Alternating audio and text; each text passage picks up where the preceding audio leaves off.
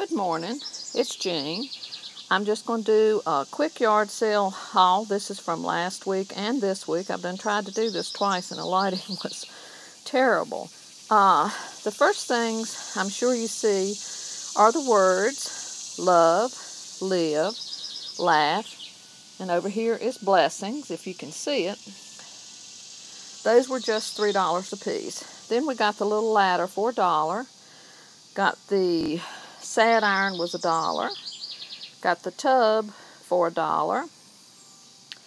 Got the old books on the ladder for 25 cents a piece. And there's even an old gardening book there. Some of the books were the late 1800s, some were early 19. Then I believe the gardening book was like 1950s. Got this darling little silver Easter egg. That was a dollar. Over here, these are two Royal Doulton uh, vintage plates. I got those, I mean platters. I got those for $2 a piece, and they are in such wonderful shape. They're absolutely gorgeous. And I can't remember if I, the tub was, was one of the purchases this week. And then the little sad iron, that was a dollar. There's a great old vintage. Um, the lady told me that was an Appalachia egg basket. I don't know whether it is or not, but I just thought it was neat.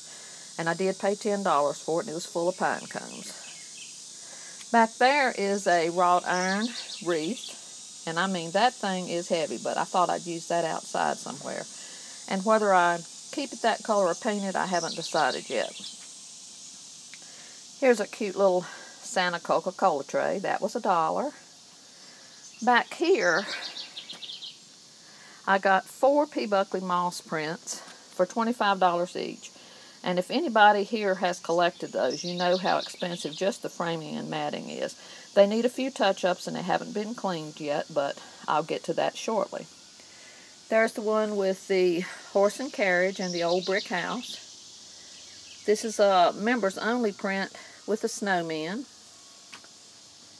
Another snow scene from the church with Christmas tree.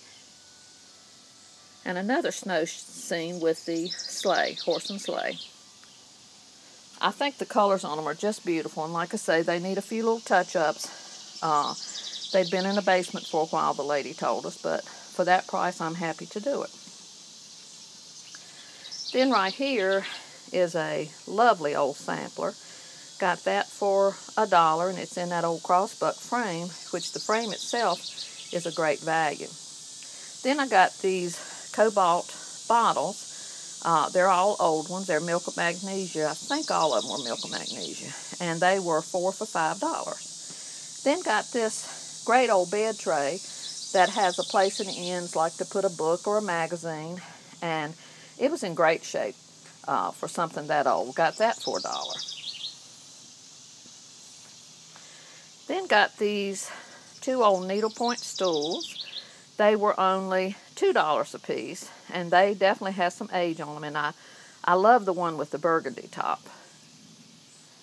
Then got this primitive uh, picture of a girl. The guy called her the creepy girl. He said he would hate to come down a hall and be facing her. But the frame is absolutely wonderful old frame. So uh, got that for $5. Then right here, got a little tall tray for $3. Like I said, nothing's been cleaned up yet. It's just like we bought it. And then there is a wrought iron architectural piece. That was $2. Then got this beautiful lamp. It has a dragonfly and the leaves coming up so that this looks like a flower. And that was $10.